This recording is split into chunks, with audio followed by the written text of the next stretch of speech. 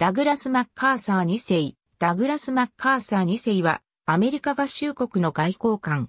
連合国際公司令官として知られている、ダグラス・マッカーサーの甥。1957年1月から1961年3月まで、中日アメリカ合衆国大使を務めた。ペンシルベニア州出身。アーサー・マッカーサー・ジュニアの長男である、アーサー・マッカーサー3世の三男として生まれ、叔父にあたり、同じ三男であるダグラス・マッカーサーにちなんで、ダグラス2世と名付けられた。彼が生まれた当時の初代ダグラスは、陸軍士官学校で歴代トップの成績を収め、軍人として華々しく活躍していた。1932年にイエール大学を卒業後、国務省に入省、ヨーロッパ各地を転任する。第二次世界大戦中、フランスに在勤した際には、レジスタンス運動に協力し、ナチスドイツに抑留された経験も持つ。1950年代初期には、欧州連合軍最高司令部外交顧問として、総司令官であるドワイト・アイゼンハワーを補佐し、その地遇を得る。1957年1月、国務省参事官を経て、駐日大使に着任する。当時の日米関係は、マッカーサーの着任に前後して米兵が日本人主婦を射殺するジラード事件が起きるなど、在日米軍の駐留によって生じる摩擦や反基地闘争が顕在化していた。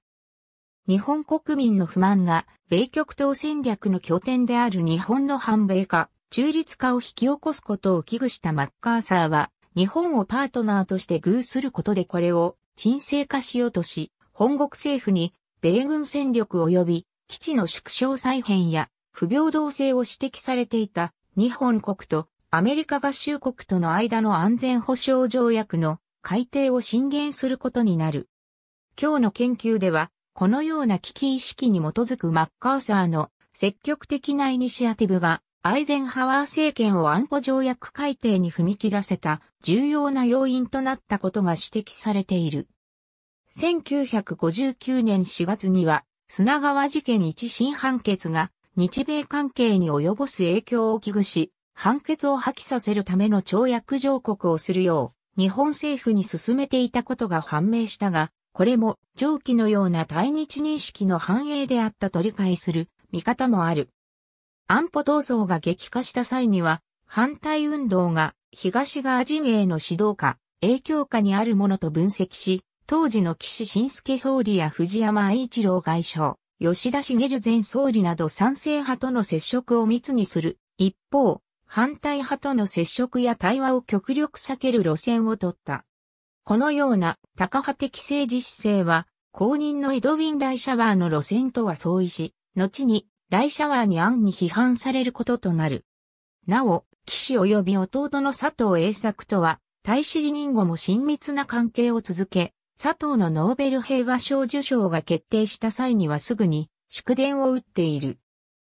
陸軍の英雄であるマッカーサー元帥の甥、さらにトルーマン政権の副大統領を務めたアルバン・ダブリュー・バークリーの女性でもあったことから、本国政界での知名度も高く、アイゼンハワーや国務長官のジョン・フォスター・ダレスとも親しい関係にある実力派の大使として知られていた。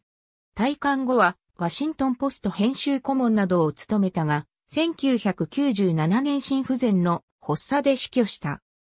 マッカーサーの電報4、4ページ中日大使在任中の1960年4月26日、韓国の4月革命によって李承晩大統領が失脚し、亡命に追い込まれると、それまで李政権が取っていた対日強硬路線によって悪化の一途をたどっていた日韓関係を懸念したマッカーサーは、翌27日には、本国国務省に宛ててこの潜在一遇の機会に、アメリカが取るべき行動を提言した伝文を送付している。